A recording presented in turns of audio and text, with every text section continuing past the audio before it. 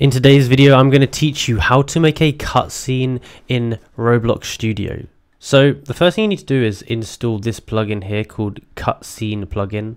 The way you can do that is you can go to Manage Plugins um, here, and then you should be able to search for the plugin you want. Uh, click Add, and then type it in. So this one's called. You can just type in cutscenes or cutscene, and this one's one of the first ones that comes up. It's called Codes Otaku Cutscene. It's a very good one. It's the best one, and it's free. So from here, let's put in a object. Oh, I keep pressing that. Let's put in a structure. Let's put in a classic house here. Oops. Okay. Nice. So from here, let's let's create a cutscene with this. So I think this is over the player start. Yeah, there we go. There we go. So we can create the cutscene now. The way we do is we click on here, go to create cutscene, and we need to have a name of this. So we'll say intro. If it's an intro cutscene, we can click create.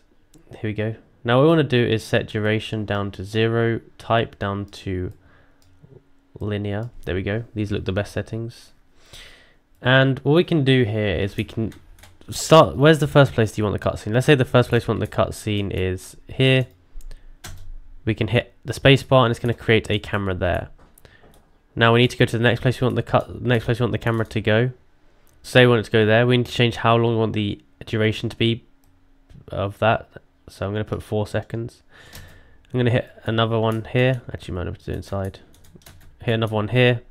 That's going to go through the building and go there. And then I could set a like another cutscene like over here if I wanted to. Now I'm going to click generate script here. And this is um the, the cut is cut the cut screen is going to be when the player joins. Now there's other settings that you can do like when it touches an item or stuff like that. But this is just how you do that. So now if I start the game, you'll see that it should start it straight away you can see that the cutscene here is done exactly how I've how I've made it do it.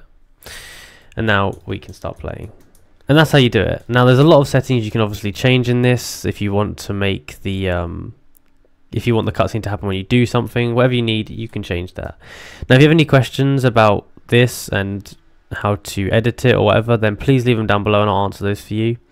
And if you have any other questions about other topics, then please let me know and I'll answer those as well. So thank you for watching. Please like, subscribe and comment down below that helped. Thank you.